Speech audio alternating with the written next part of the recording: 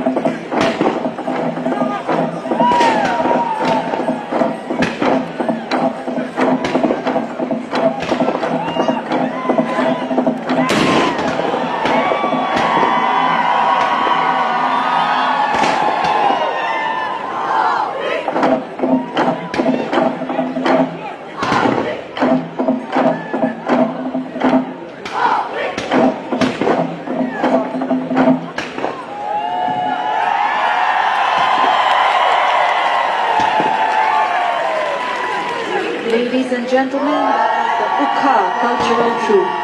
The arena is now open to the public. The public can now enter the arena in front of the stage.